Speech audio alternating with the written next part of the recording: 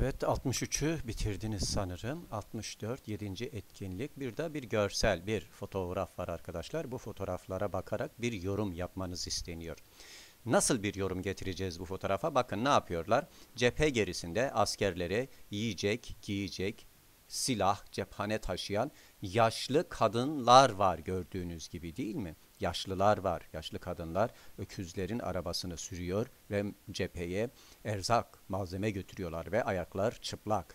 Evet bu görseli yorumlayınız. Nasıl yorumlanabilir ki bu görsel değil mi? Bu görselde cephede kadınların, yaşlıların askerlerimize zor şartlarda da olsa yardım ettiklerini görüyoruz.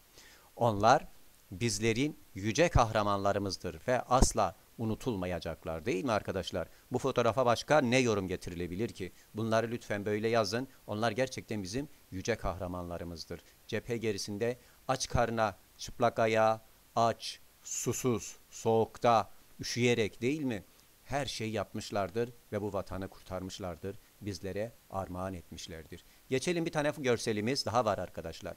Burada bu görselleri de inceleyelim. Ne yapıyor sizce bu kadınlar? Bakın burada şu görselde kadınlar askerler için malzeme hazırlıyorlar gördüğünüz gibi arkadaşlar malzeme hazırlıyorlar. Bu sağ taraftaki görselde ise bu resimde kadınlar askerler için mermileri kutulara koymaktadırlar. Bunlar mermi arkadaşlar mermileri kutulara koyup cephe gerisinde çalışıyorlar ve cepheye yolluyorlar. Askerlerin düşman ile mücadele etmesi için mermilerinin olması, hazır olması, kutularda olması gerekiyor. İşte bu görevi yapıyorlar.